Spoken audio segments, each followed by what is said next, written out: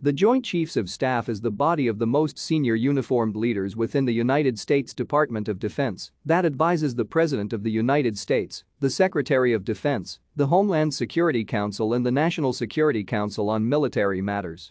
The composition of the Joint Chiefs of Staff is defined by statute and consists of a chairman, a vice chairman, the service chiefs of the Army, Marine Corps, Navy, Air Force, Space Force, and the Chief of the National Guard Bureau.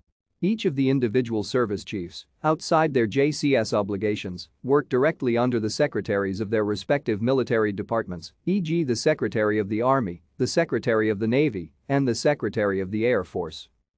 Following the Goldwater-Nichols Act in 1986, the Joint Chiefs of Staff do not have operational command authority, either individually or collectively, as the chain of command goes from the President to the Secretary of Defense and from the Secretary to the regional combatant commanders.